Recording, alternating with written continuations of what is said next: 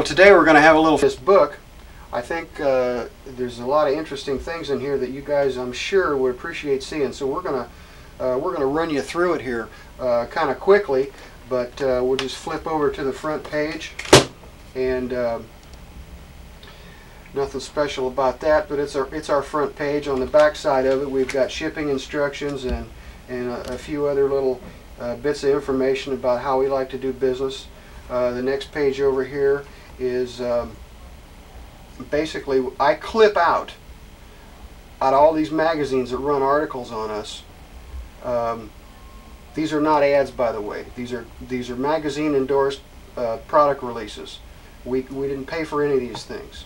The the people are constantly calling me up wanting stuff to put in their magazines, so we give them information and uh, they print it up. And for for example, uh, this is the Eagle's Eye.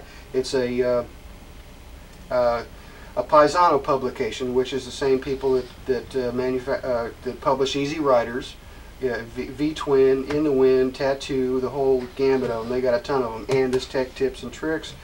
They're the biggest uh, publishing house in, in in the world, as far as I'm concerned. Um, also, here's another one, uh, V Twin magazine, uh, Tech Tip and V Twin. we made the top six in the 1991 ignition system guide and uh, that's what this one here is.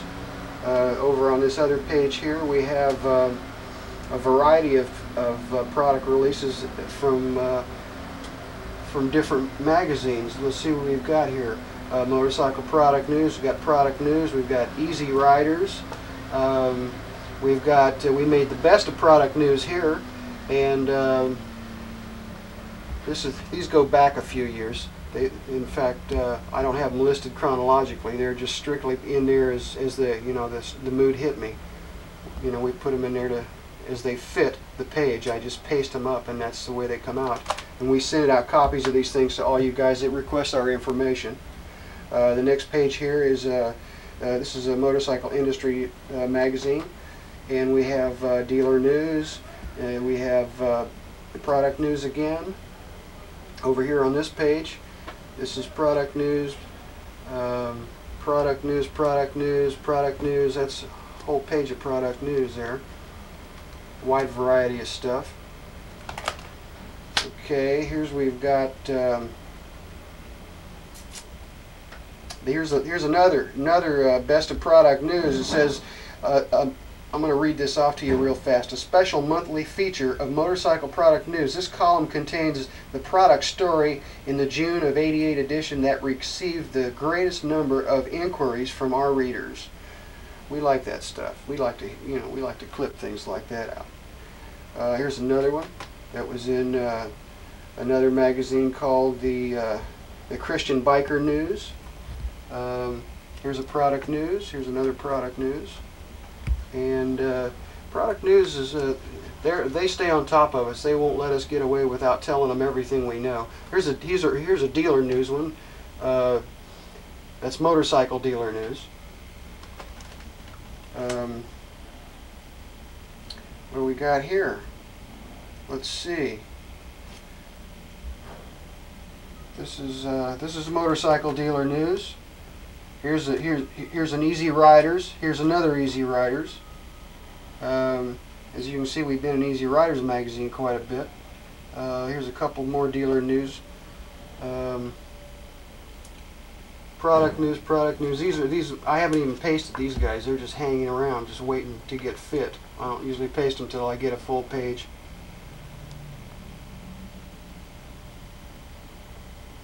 There's one from Easyriders from way back when. Let's see. Okay, here's our article on detonation. This is one I wrote, and it's it's been hacked up by a few different people. You know, when you send these things out to the magazines, they like to edit them, and uh, you know, throw in their two cents and pull out half of half a year's. So that's what's happened in this case. Uh, however, they did they, they did do a very nice uh, uh, write up on it. They just left out a few things that I felt were very important. It's a two-sided piece discusses our tool finish and how we acquired it, how many years of, of R&D we put into developing it, and who helped us, etc. Here's something on the uh, on the Rivera four-valve setup, we, we do a little, uh, do a few tricks to those too. For you guys that really want to go fast and spend a, spend a mega bucks to do it, we can, we can help you there. Here's a photograph of the, of the cylinder heads uh, with the four valves after we've done them up. Here's one of our tech tips on the on that very uh, very setup. This is the coming thing here for the guys that can afford it. These things are uh, they've got uh, capable of unbelievable, I mean outrageous flow specs, which we're going to show you here in just a few minutes. I've got flow charts on all this stuff we're going to run through.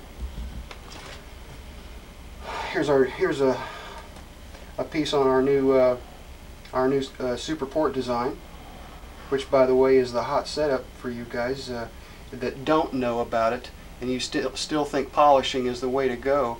Uh, let me tell you something. Uh, give us a call and let me send you out some literature and some flow specs. You'll be amazed.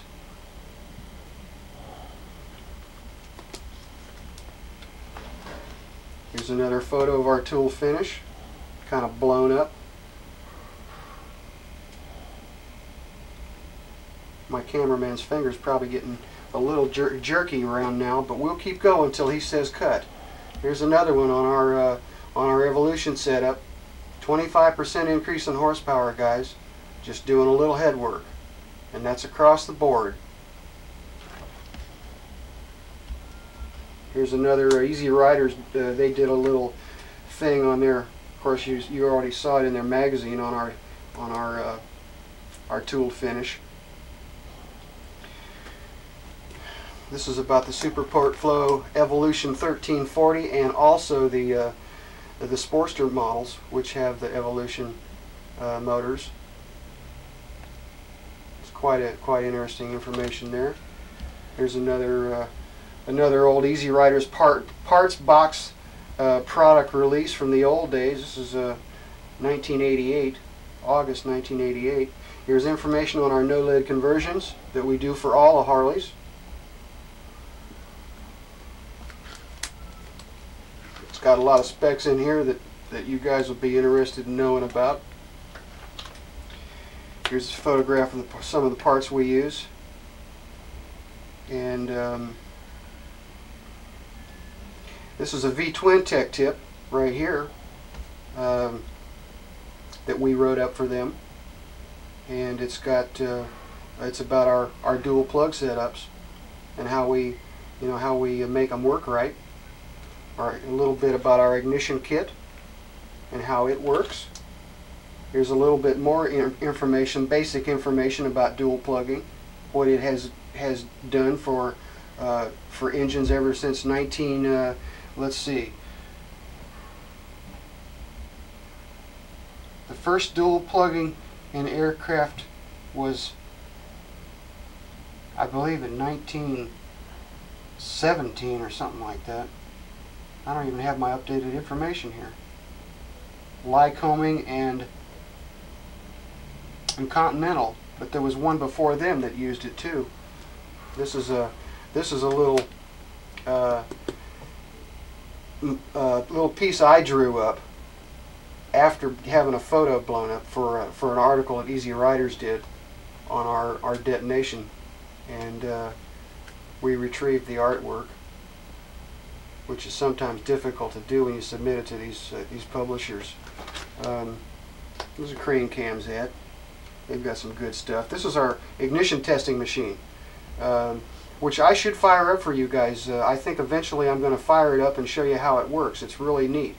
Uh, that's how we, we test coils. That's how we ha have proved uh, beyond any any doubt that our ignition system does work. This is basically your Harley Davidson motorcycle here. Here's your points. We have a little motor that turns the, you know, makes the makes the points open and close. Uh, you've got your battery, uh, ignition system with a coil.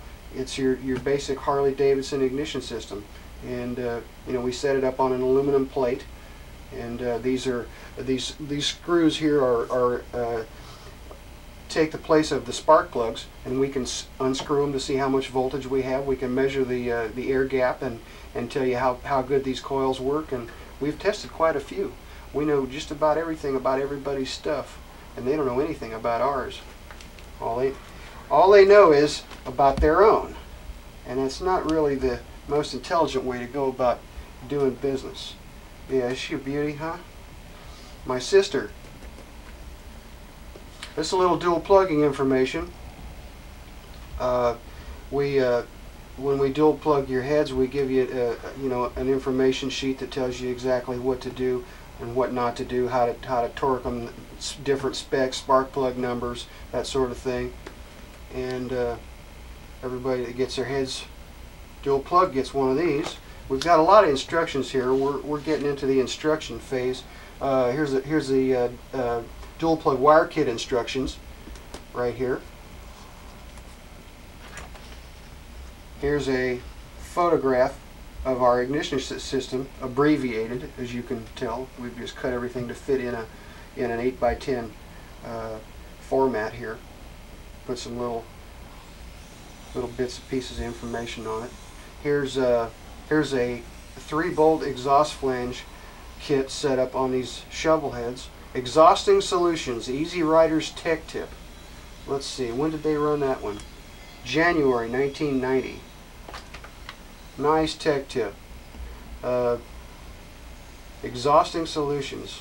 Yeah, that's the one that's in this Tech Tips and Tricks, as a matter of fact. Okay, and then we've got uh, we've got installation instructions for our three-bolt flange kit. Um, and this this these instructions cover uh, installing them yourself from scratch. If you guys want to do it, I'll show you how many pages, and we've got photographs galore here. We've got uh, one, two pages here with photographs, numbers, and arrows, and all that sort of stuff. Uh, here's the here's the third page with information and more photographs, arrows, and all that shit. We've here, here's another one. There's six full pages of information and photographs for you guys. That's how, that's how we like to inform you about our products if you buy them. Uh, templates if you have a pan head because you have to do a little fin modification which is really very minor. We send you out templates with with it if you if you're like I said if you've got a pan head and you want to do it we've got a front and a rear template. Uh, top end oiler kit modification. This is basically what we just went through. I'll just flash right by that because you've just seen that. Uh, you've seen these things too. Uh, here's an interesting page. Uh, here's our dual plug knucklehead all assembled. Check this out, would you? You guys see these little spark plugs in here, these little peanut plugs? And I was telling you 10 or 15 thousandths clearance, I wasn't bullshitting. I mean, they are close, but they work. That's the bottom line.